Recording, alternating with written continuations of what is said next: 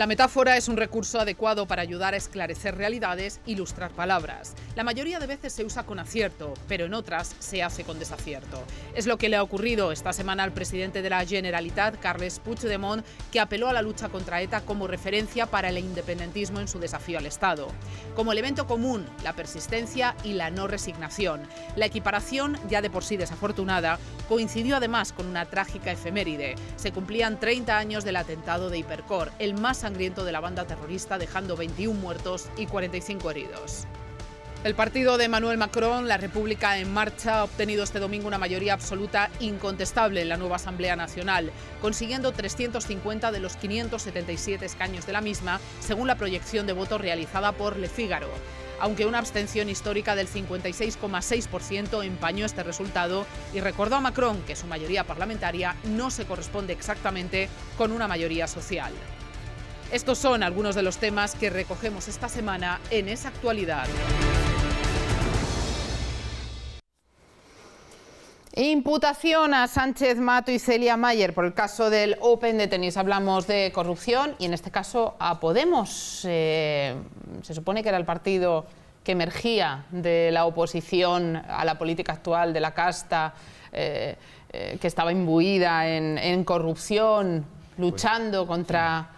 Ese es el partido de la casta nueva que en el estrado del Congreso de Diputados le tiró cal a Felipe González, por ejemplo, ¿vale?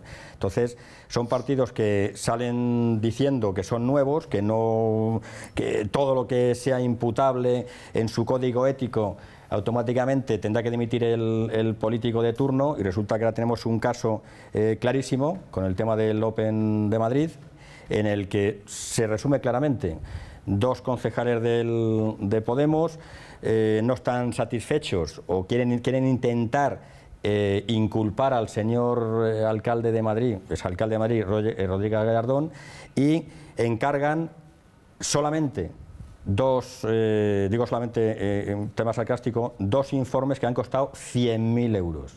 100.000 euros para que alguien diga que lo que se firmó en el año 2003 de financiación y de pago del Open de Madrid, que es un Master 1000 eh, a nivel mundial eh, es ilegal.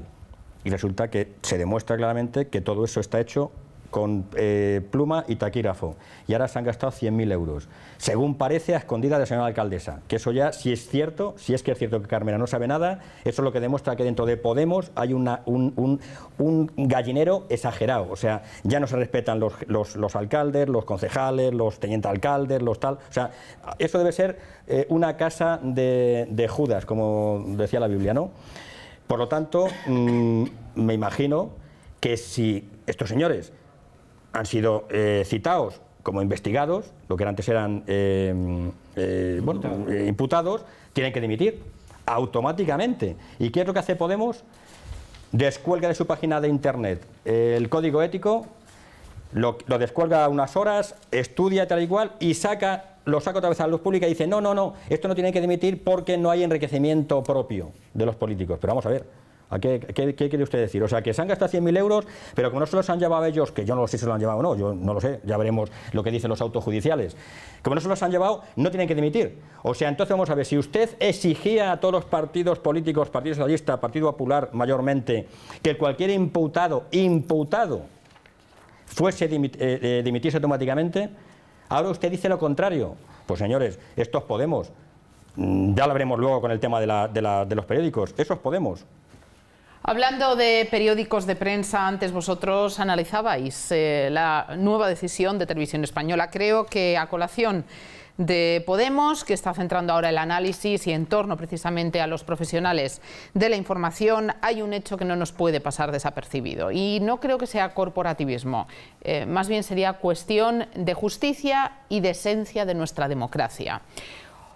Otro de los asuntos eh, que se ha criticado siempre ha sido precisamente el no respeto a la misma. Pues bien, eh, cuando hablamos de un veto a medios de comunicación, al final estamos hablando, lógicamente, de un ataque a uno de los pilares esenciales de nuestro sistema democrático. Y en este caso ha sido Podemos quien ha protagonizado eh, ese veto a varios medios de comunicación, a una convocatoria de un desayuno informativo, no tenía más relevancia y entendemos que además no se trataba de un acto privado ni interno del partido, sino más bien todo lo contrario, el objetivo era dar a conocer información de interés a los medios de comunicación. Lo que han alegado responsables de la formación de Pablo Iglesias es que efectivamente ha sido una convocatoria selectiva para crear eh, un ambiente de confianza. No sé si me causa más escalofrío el hecho en sí de vetar a los medios de comunicación o el argumento que se ha esgrimido para intentar justificarlo. ¿Qué son ambientes de confianza? ¿Quiénes entran dentro de esos círculos de confianza? ¿Por qué eh, unos medios se consideran de confianza y otros no? ¿Cuáles? A mí me gustaría que eh, eh, Podemos, los que han tomado esa decisión, le respondan a sus militantes, a sus militantes si ABC o La Razón son de su confianza, porque esos sí estaban invitados. ¿eh? A mí me resulta cuando menos paradójico. Y sin embargo, a quienes censuran son a El País, a la cadena SER, al periódico de Cataluña y a cuatro, si no recuerdo mal, a cuatro digitales. Cuatro digitales. Sí.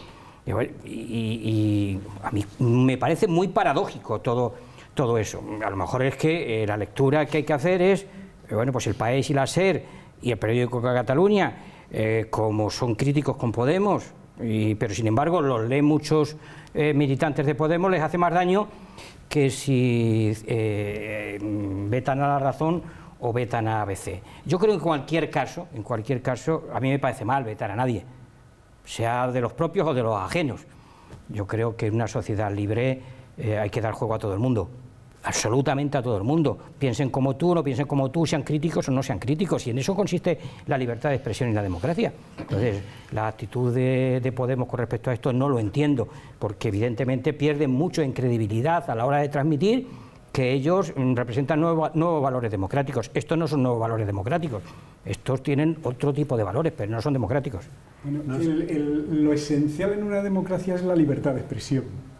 Eh, curiosamente, eh, Trump en Norteamérica mm, no está nada conforme con la libertad de expresión y trata de sitiar a los medios de comunicación. Eh, Putin en Rusia no está nada de acuerdo con la libertad de expresión y trata de sitiar a los medios de comunicación. Y en España nos encontramos en un escenario similar. Lógicamente aquí ya vamos mucho más allá de lo que puede ser la anécdota del veto o de la generación de espacios de confianza, que es una especie de recurso de Mao eh, poético cuando se hablaba de, para hablar de otras cosas. Estamos hablando de la esencia de la democracia. Y atentar contra la esencia de la democracia, a mí me parece lo grave de este asunto. Y que además lo siguiente sea que no somos capaces de verlo y que nos dividimos automáticamente. Incluso si avanzamos un poquito más, veremos cómo en las redes sociales también está apareciendo otra, otra variable de esa especie de atentado contra la libertad de expresión, que es decir en público, yo ya no leo eh, determinado medio.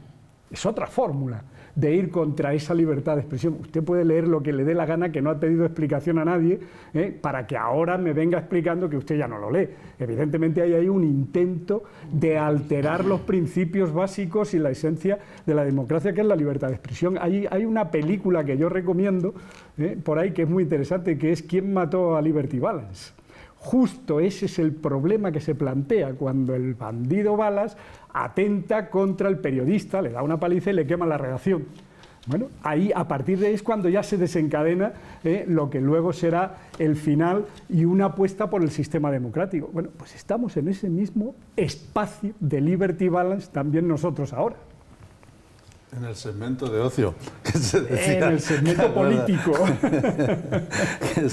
A, mí, de todo esto lo que me parece es una contradicción como partido porque ellos se han declarado, se han autodefinido como el partido que tiene un trato más abierto, cercano y directo con la prensa. Dicho sea de paso, ¿eh? dicho sea de paso, es decir, es contradictorio que tú no invites a toda la prensa que invites solo a unos pocos y que dejes fuera a aquellos que te caen mal Bueno, eso no es Podemos el único que lo ha hecho. Es decir, eh, podría poner muchos casos donde no se ha invitado a todos los periodistas siempre de todos los medios en todos los gobiernos. No, ¿no? pero que no invitas al país o a la SER, es como si no invitas a la Bueno, COPE. pues yo creo que hay una intencionalidad, quiero decir, hay claro, una intencionalidad clara. ¿Eres capaz de la- extraer la una lectura? intencionalidad de cuando yo no te invito a ti a comer a mi casa es que te estoy despreciando. Eso te está estoy claro, pero ¿por qué esos medios, como medio, ¿no? que son los últimos esperados mí en el caso de, un, me parece- de un veto? Lo que me parece mal es eso, es la contradicción que existe como organización que se declara abierta y que no es abierta, quiere decir que se cierra en claro. un hecho determinado. Pero es que además se cierra, una- insisto, una- una- ante medios, una- ante medios que presuponemos mayor afinidad que los que sí asistieron. Sí, es que se- no se entiende Sí, sí desde se entiende. ningún punto. Alesia, Sí, se entiende de la- de sí la que se forma que yo entiende. lo he dicho. Sí que se entiende. Te voy a decir por qué. La cadena SER le dijo a, a Pablo Iglesias que a sus programas de radio van los que la cadena SER quiere que vayan. O sea, no los que Pablo Iglesias imponga. ¿Os acordáis de ese problema que hubo, no? Hace escasamente tres meses, ¿vale? Pues este hombre lo que ha dicho, ha dicho, yo a la SER no la invito, al PAI no le invito, ¿vale? Porque os voy a demostrar que yo soy el que mando. O sea, si no hacéis lo que yo os diga, os voy a vetar. Eso es el marxismo eh, que- venezolano y cubano traspasado aquí a España. El ¿vale? marxismo es otra junto, cosa. junto con una cosa que ha dicho muy bien eh, Jesús. No voy a leer esos medios. Y ahora resulta que tampoco, según parece, va a llevar al Congreso una propuesta que es la siguiente: que los políticos no puedan leer el discurso que van a decir desde el estrado. Imaginaros el cachondeo. O sea, todo lo que no les gusta a los señores de Podemos hay que eliminarlo. Los toros hay que eliminarlo, pues no les gusta. O sea, no son democráticos. Tú quieres ir a los toros, ves a los toros. Tú no quieres ir, no vayas. La caza, no hay que cazar. Yo no cazo, tú no cazas. Pero vamos a ver, oiga, no venga usted aquí como partido nuevo a decirme a mí que soy libre, porque lo ha dicho muy bien Jesús. La libertad empieza donde acaba la del siguiente y la, y la prensa y, la- y los medios de comunicación son libres. Déjeme usted que yo escriba lo que quiera escribir sobre lo que usted haya dicho, no, lo que, no que escriba lo que usted quiere que yo diga. Eso es Podemos. El marxismo de decir o hace lo que yo te diga o te corto el cuello. Esa es el, el- propósito, el de los marxismo de, de a Podemos. propósito de los toros, me supongo que lo sabréis, ¿no? Que se ha puesto de acuerdo la Comunidad de Madrid y el Ayuntamiento, que son de colores muy distintos, para cerrar las ventas hasta nueva orden. No, Hay algo no, bastante no, más sí, sí, grave. Pero por No es problemas de verdad. seguridad, no como no es verdad, Eh, claro, no es verdad, claro. no es verdad. Van a hacer unas, so- unas obras en los tendidos de las ventas, sabes que hay 12 tendidos, 11 tendidos, van a hacer obras eh, año por año para adaptarlas a las nuevas nombre de seguridad y a los asientos que se hacen a las ventas. son un mármol así de chiquitines. perdón, ya que, perdón, ya que lo digo habéis que no es verdad lo sacado, no tendríamos, no tendríamos perdón si no hacemos el comentario y algo en torno al mundo taurino bastante más grave que ha acontecido esta semana.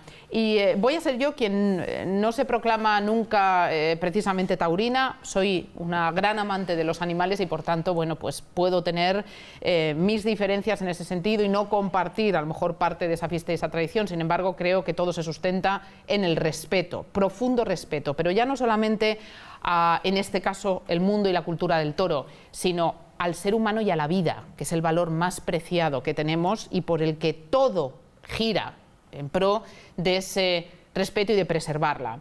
Eh, este comentario lo hago por las aberraciones que hemos tenido que leer por parte de algunos antitaurinos con respecto al fallecimiento del matador de los últimos días. Fandini. Independientemente de profesar o no eh, afición al toro, estar o no de acuerdo, incluso manifestar claramente eh, una reticencia eh, contra eh, el mundo del toro, contra la cultura taurina, creo que hay límites que jamás se pueden traspasar, como es el faltar el respeto a la muerte de un ser humano e incluso llegando a festejar y desear que otros toreros mueran de la misma manera. Es tal la barbaridad de declarar algo así, eh, seguro que además me puedo permitir hablar por boca de todos vosotros, compañeros, que al menos ese comentario debería estar eh, ahí. Muchas veces la parte de razón y de comprensión que pueda tener una persona la pierde, la pierde en cuanto eh, se llega a, emitir un juicio de, de este calibre, que ante todo es inhumano, ya que se estaba juzgando, ¿no? Si, si, si estaba bien o no acabar con la vida de un animal, pues en este caso la humanidad de una persona, que en este caso no había duda, creo que también es cuestionable, ¿no? Al leer determinadas palabras. Bueno, dicho lo cual, Avanzamos, nos vamos a Cataluña, hablando también de cosas, menudo, menudo bloque de programa tenemos, porque en este caso ni siquiera seré yo quien se atreva a calificar lo que está ocurriendo. Ya no solamente hablamos de esa deriva eh, del gobierno independentista, de esa huida hacia adelante, ya estamos hablando también de algo especialmente delicado. Eh, incluso hemos sido suaves ¿eh? nuestro sumario cuando hablábamos de desacierto en las palabras del, del señor Puigdemont. Han sido más que desacertadas, porque coincidiendo con el aniversario de esa tragedia, de la muerte de tantas personas víctimas del asesinato de Hipercor de ETA, eh, escuchar de, de, Carles Puigdemont lo que hemos escuchado, hacer los alegatos que ha hecho y pronunciar las palabras que ha emitido, pues también se nos ha hecho duro, ¿no? sí. Perdón. No, ¿Qué esperáis, Antonio? Yo, yo creo que, que sí, hombre, ya este hombre está, lleva mucho tiempo, mucho tiempo sigue utilizando un dicho popular como meando fuera del tiesto y esto es eh, quizá una gota que colma el vaso. ¿no? Eh, la utilización del terrorismo, la comparación con ETA para, digamos, una especie de beneficio personal en el sentido de, como si eso fuera ah, un argumento para defender lo que él defiende, me parece de una bajeza moral y de una inconsistencia política absoluta. César. No, yo voy a decir eh, que este señor eh, lo que tiene que hacer de verdad es irse a tu casa. Porque mira, si lo que va buscando o lo que intenta ahora es que haya un terrorismo en Cataluña eh, que le mueva el árbol y él recoja los frutos, que es lo que pasaba en el País Vasco hace escasamente unos años, porque la gente de ahora, estos votantes de Podemos, no saben que hace escasamente ocho años, diez años, mataban guardias civiles, políticos, policías, militares en las calles en España con bombas lapa, con tiros en la nuca. Eso, según la Carmena, que hace bien poco también dijo que eso había que olvidarlo, que eso ya estaba pasado, pues no, hay que refrescarlo para que la gente sepa que aquí en España hemos sufrido terrorismo en nuestras propias carnes y de gente muy cercana. El terrorismo que existía en Cataluña, aparte del de ETA, fue que era republicana de Cataluña, hace 20 años de esto, y hay un ejemplo de un periodista muy famoso, eh, Jiménez Los Santos, que fue más eh, atentado por Esquerra Republicana, que eran los terroristas, sí.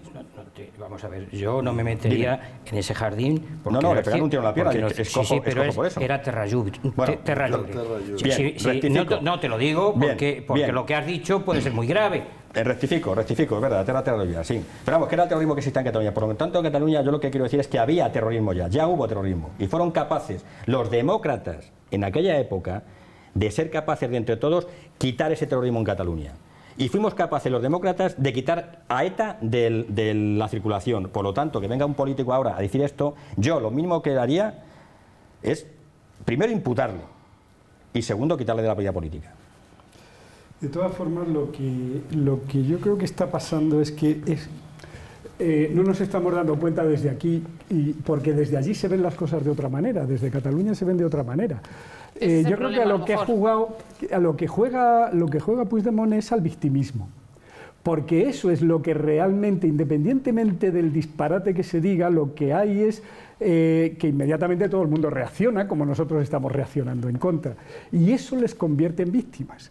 Y ese es el discurso que permite seguir alentando este movimiento, el de las víctimas, sumado lógicamente a otra serie de discursos que se han venido haciendo y que se han sedimentado en un sector de la población muy importante. El España nos roba. perdón Jesús, eh, perdón. Y dentro de ese victimismo y que con mucho acierto reseñas tú, eh, un recurso muy manido, eh, que sepan que Cataluña ya debe al Estado 51.000 millones de euros tras los cinco años de rescates continuos que se han estado realizando por el tema ese del España nos roba. 51.000. Claro, no, pero si, no, tiene nada que ver la realidad con la, con la ficción que allí se está creando.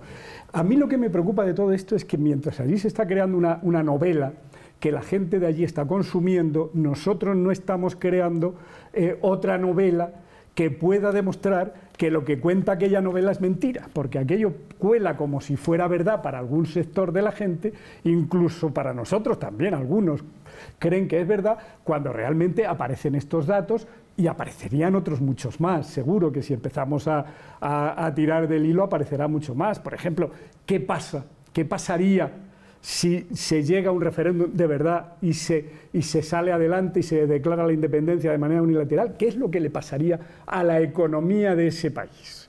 o de ese territorio. ¿Qué hace el Estado español que ha estado dando dinero? ¿No lo reclama o, cómo es esto? Es decir, si al Brexit, si Inglaterra, en la Unión Europea le están diciendo, oiga, usted me tiene que devolver a mí eh, todo esto, o sea, a estos no. Entonces, ¿qué, pasa? ¿Qué, ¿Qué, ocurriría ahí?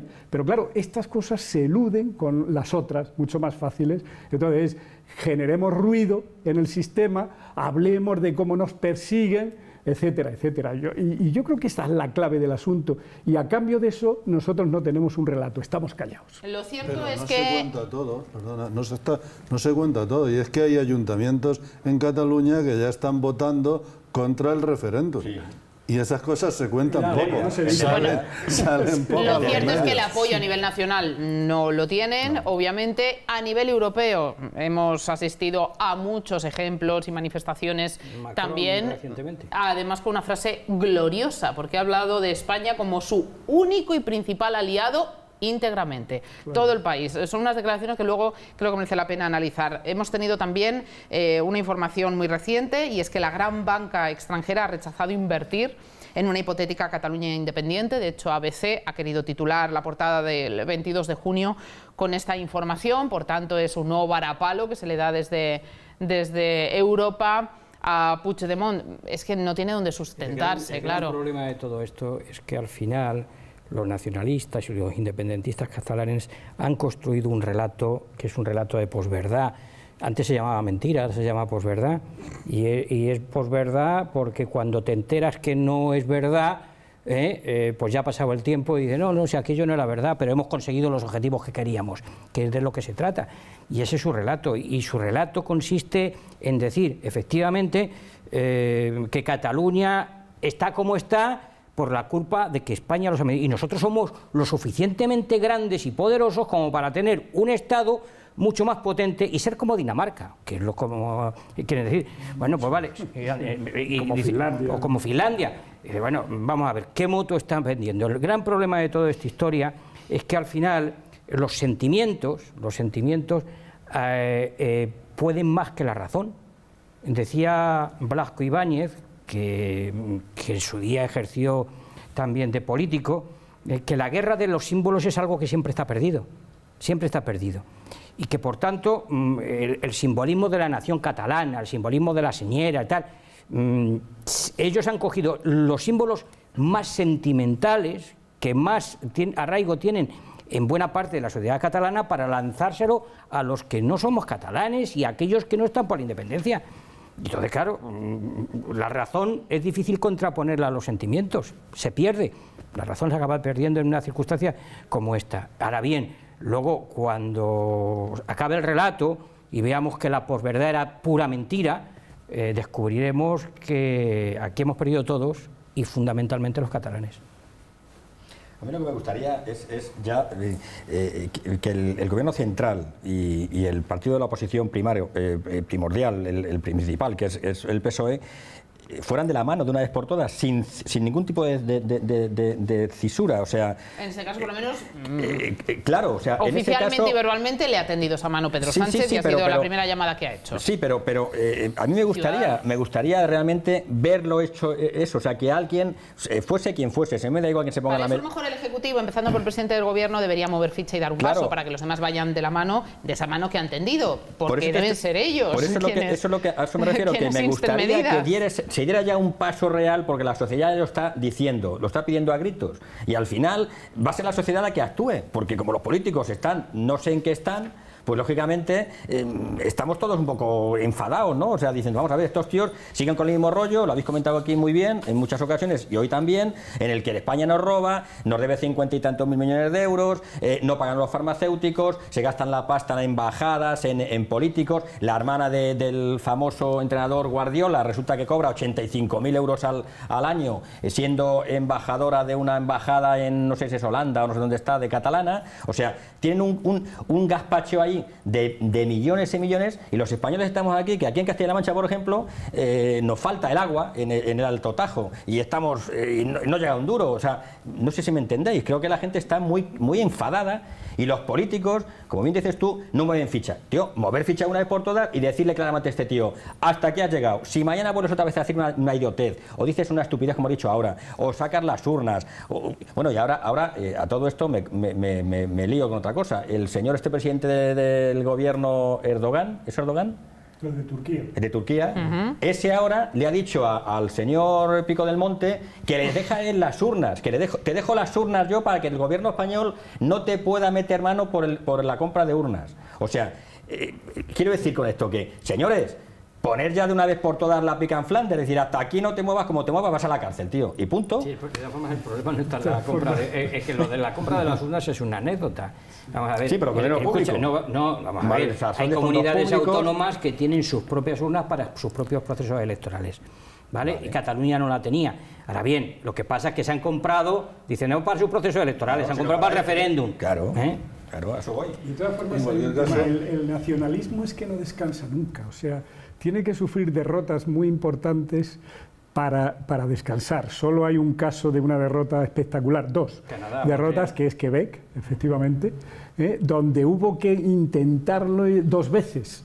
¿Eh? Y entonces ya se ha aplacado, aún así sigue, sigue latiendo. Entonces, aquí el- en, en- en España el problema es que es como una especie de dragón que se está alimentando, que se está alimentando, y cuanto más se alimente con unas cosas u otras, eh, más engorda.